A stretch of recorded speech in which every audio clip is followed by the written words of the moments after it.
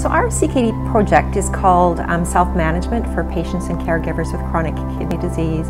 What we heard um, based on some research that we did probably about five to seven years ago with patients with earlier stages of CKD is that they really had um, trouble finding information to help them self-manage their chronic kidney disease.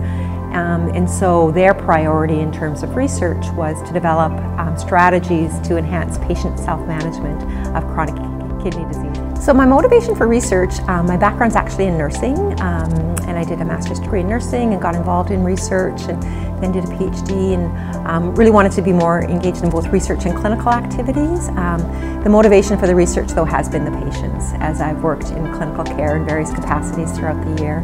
It's being um, the opportunity to work with patients and to develop strategies to improve care and outcomes um, for patients and patients with kidney disease in particular.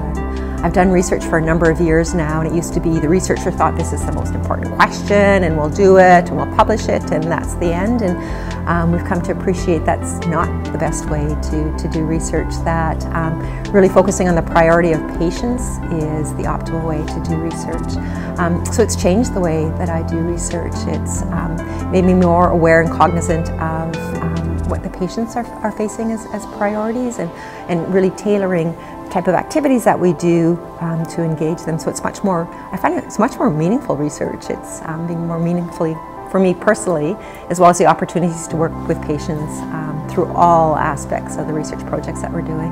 There's been many aha moments when it's like, why haven't we focused on this and why don't we have those answers?